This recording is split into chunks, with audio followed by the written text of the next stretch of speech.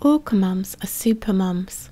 Resident orcas, such as the southern resident ecotypes, get to live with their offspring their whole lives. Something I'm quite envious of, but it does come at a price to the mother, particularly if they have sons. It is well known that the presence of mum enhances the survival of her offspring, largely from ecological knowledge of where to get their food, which for resident orcas is fish, and also from sharing the food that she catches. A recently published paper has looked at the reproductive cost to orca mums and it is fascinating. The southern resident population is well studied and census data has been gathered annually since 1976. Data from 1982 to 2021 was used to see if females with more surviving offspring would be less likely to successfully reproduce in a given year. The scientists considered a birth successful if a calf survived its first year. Scientists used models to analyse the data and found that providing long term survival benefits to their sons came at a significant reproductive cost to the orca mums. Basically, if orca females have sons, they are less likely to have more calves. In fact, it was found that sons reduced the annual odds of reproduction by around 70%. This is not the case if the orca mum had daughters. So, what are the reasons for this? While the exact reasons are difficult to establish, it is hypothesized that it could be due to the energetic cost of provisioning sons through direct food sharing. Females eventually become independent from their mothers, but males rely heavily on their mums, following them around and accepting food from them well into adulthood. It is well documented that southern resident orcas are known to be struggling to find enough fish to eat, particularly their preferred prey, Chinook salmon, which is endangered. And female reproductive success is highly dependent upon prey availability and their nutritional health. If they are not eating enough because they are sharing their prey with their sons, it may be that they do not have enough energy to sustain a viable pregnancy. To determine if this is the case, then similar models need to be run using data from an ecotype such as the northern resident population, where their food availability is not as compromised and their numbers are increasing. Prey sharing behaviour is seen in other resident orca ecotypes, and researchers believe that this behaviour evolved due to the social structure of the pods. Orcas share their prey with all members of their immediate family, even between adults with fully developed hunting skills. However, adult females shared a greater proportion of their prey than any other age or sex class. It is thought that mothers that frequently share their prey with their offspring are more likely to have their offspring survive and so have a greater lifetime reproductive success, which makes sense. As well as providing the much needed calories for the offspring, it also teaches the youngsters about prey choices and develops their hunting skills.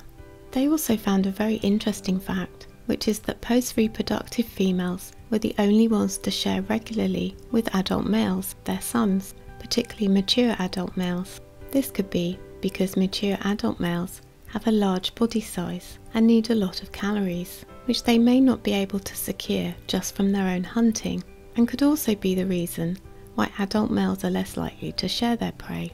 They do, however, frequently share with their post reproductive mothers, which is really sweet. A possible reason for this is that being the wise old orca, they have the social and ecological knowledge that benefits the rest of the matriline, so best to keep mum alive for as long as possible, especially as males are more likely to die than their peers once their mum has passed away. Orca mums don't share much of their food with their daughters, they become independent very quickly. The reason why orca mums look after their sons more than their daughters could be because when a daughter reproduces, the calf stays with the pod, thus competing with the rest of the group for food and attention. But a son does not mate within the pod, but with other females from other pods that they come into contact with. A good way of maintaining genetic diversity, but it also means that if a female wants to pass on her genes to lots of grandchildren without competition for resources, then she needs to invest more energy into her sons than her daughters.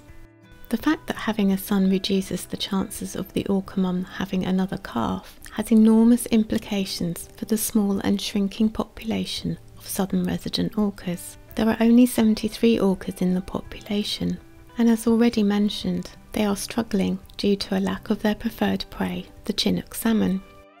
Over the last 50 years, the proportion of mums that have at least one or more surviving sons has varied from less than 30% to nearly 80%, with 63% at the beginning of 2022. Within the southern resident population, females having many sons potentially means a further reduction in the population. They need more daughters, not only so that the mums continue to have calves and increase the overall numbers, but also for those daughters to have calves themselves and perhaps one day become the next matriarch of their pod. Orca females are quite simply amazing, and their devotion to their sons lasts a lifetime and extends into their post reproductive years. Like humans, orcas go through the menopause and can expect to live around 22 years post reproductive. These post reproductive females not only provide a survival advantage to their offspring, particularly males, but also to their grandchildren. Orca males are so dependent on their mums that even after a male reaches maturity at around 10 to 13 years of age, males are three times more likely to die the year after their mother's death than their peers. If he is over 30 years of age, his risk of death is more than eight times his peers. Post reproductive females not only continue to provide food for their sons, but also reduce socially inflicted injuries in their male offspring. Researchers use tooth rake marks, which appear on the skin of the orcas when another animal punches their skin, as evidence of social interactions. The data used was from photographs of fish eating orcas, as the marks could only be from social interaction with other orcas and not other mammals that could have been their prey. It was found that males had a higher rake density than females, perhaps not surprising.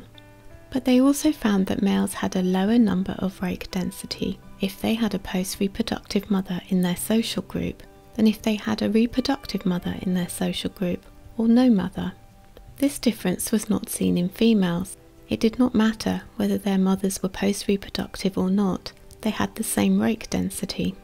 It also made no difference to either males or females whether they had a post reproductive grandmother in their social unit or not. It was definitely their mum that was looking out for them.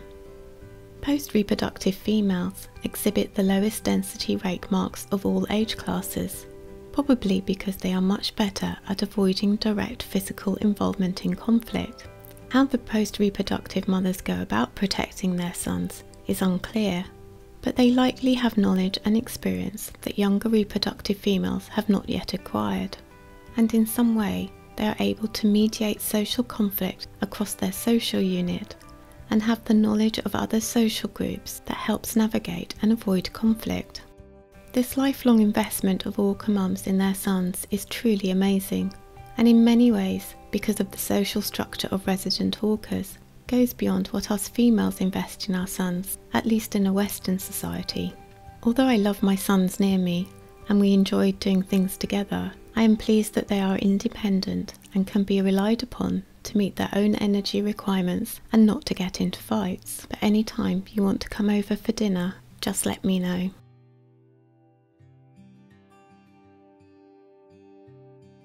If you have enjoyed this video, then please like, subscribe and share with your like-minded friends. And don't forget to put your notifications on